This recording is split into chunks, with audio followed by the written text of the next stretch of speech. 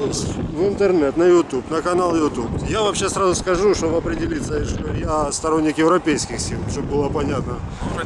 Да, то есть, мне- я, чтобы было понятно людям, которые смотрят, я посчитал ребят, тут мужчин здесь, как лидеров движения «Боротьба», которое вот здесь рядышком проходит. Вот. Меня А чуть-чуть пытаются поправить. Не являемся лидерами этого движения. К борьбе мы имеем э, относительное такое отношение. То есть мы с ними общаемся, взаимодействуем, но мы не являемся их э, представителями. Есть, я, Гурьянов Антон, э, представляю движение «Русский Восток». Наша позиция заключается в таких э, основаниях. Первое – это то, что э, рус- представители русской цивилизации здесь, на востоке Украины, находятся под смертельной угрозой, что показали события на Рыморской и э, смерти от огнестрельного оружия, причем там были убиты как защитники Харькова, так и тяжело ранен представитель правоохранительных. То есть в этом смысле э, угроза эта перестала быть виртуальной, и мы будем делать все от нас зависящее, чтобы этой угрозе противостоять. Второй тезис – это социальная справедливость, то есть это э, чтобы тот, кто хорошо работает и хорошо жил, как бы это ни было обидно окружающим. Вот. Ну, естественно, как бы назначение олигархов, губернаторов и тому подобные шаги новой власти, которая просто обманула тех, кто стоял за них на Евромайданах, а вот, полностью себя дискредитировала и продолжает это делать дальше, является для нас неприемлемой позицией. То есть социальная справедливость – это ключ к тому, что мы называем развитие и процветание Украины.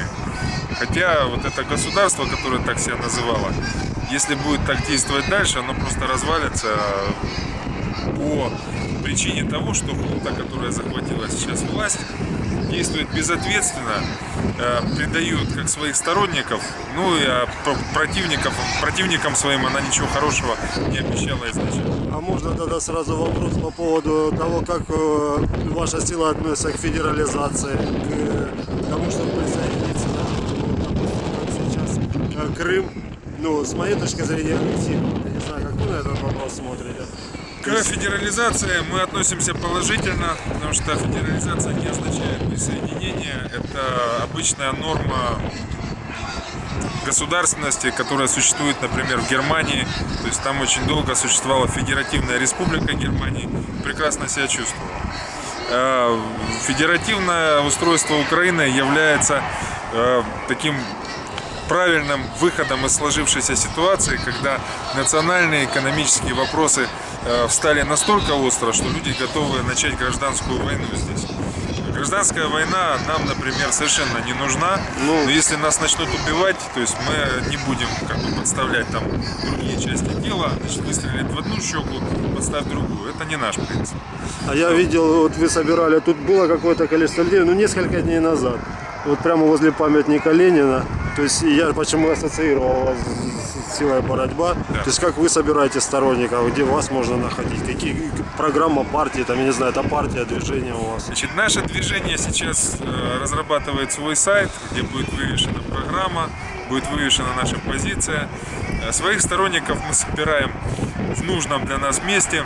А Вот, э, мы его сейчас особо светить не хотим. Я не про место сбора, а каким образом? То есть на предприятиях, там, на... Мы собираем своих сторонников очень простым образом, путем прямого общения с ними. То есть у нас есть достаточное количество людей, которые, общаясь с другими людьми, объясняют им наши позиции, как, например, я вам сейчас. Да, да. Вот. И э, эти, это, эти позиции от- находят свой отклик. Также вот мы выступаем на митингах, на которые нас приглашают. В частности, я выступал э, в прошлые выходные здесь, э, на митинге, которое э, организовывало Народное единство здесь. И на этом митинге я также обнародовал свою позицию, в общем-то, которая являлась, э, ну, которую, собственно, произнес и сейчас. Ну, спасибо большое вам За за здоровье! информацию, благодарю.